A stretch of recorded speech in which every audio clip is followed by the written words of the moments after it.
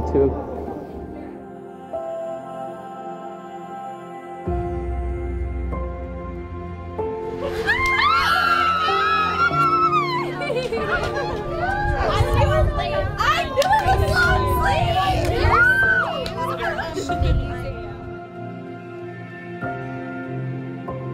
Skylar, I'm gonna tell you something right now. You are gonna make more mistakes and be wrong more often than not. It's just, it's a guy thing, right? Mm-hmm. But just remember, she loves you.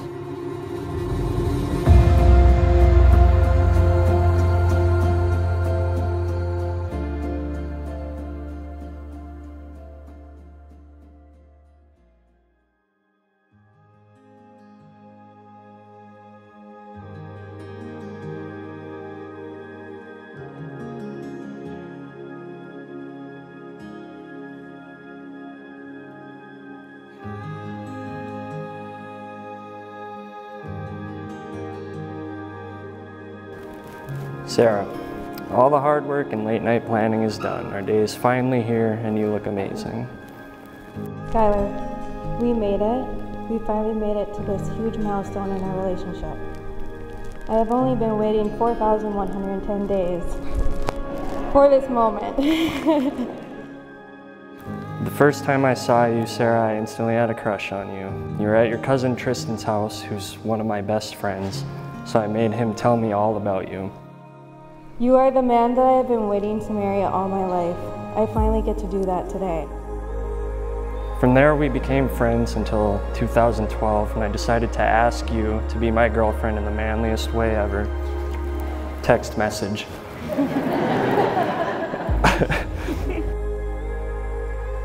Our journey together through these last 11 years have not been easy. We have watched each other go through good times, hard times, and times of heartache. We have been through it all and seen it all. We have been through more together in these 11 years than most couples go through in a lifetime. That is one of the many reasons I know you are the one. Over the years, we've been through so much together. We've watched each other graduate from high school. I watched you work very hard in college to be able to have the career you have now.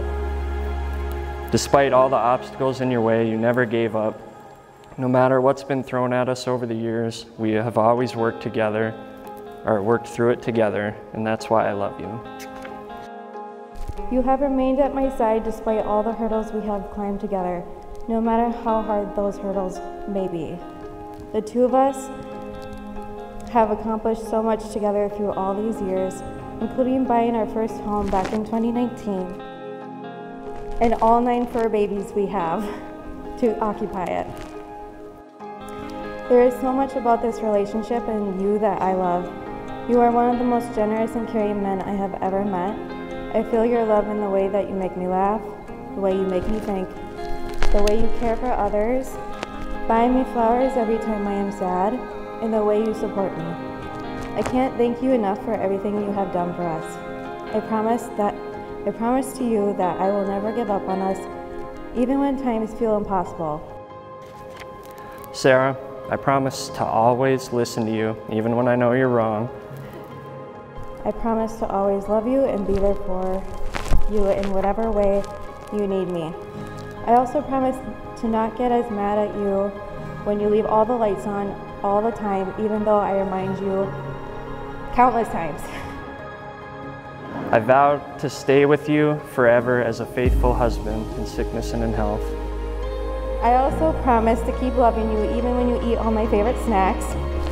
But most of all, I promise to keep loving you despite the fact that when you think you are right, you are wrong. I vow to be the best dad to our future kids, and I promise to always love you, support you, and cherish you as my beautiful wife. I look forward to seeing where this new adventure takes us.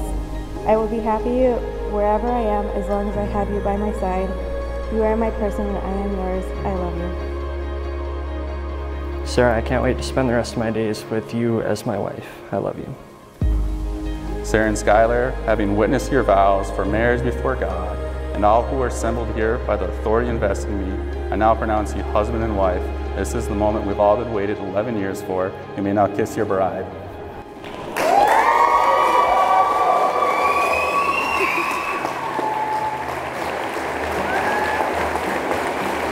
We did it!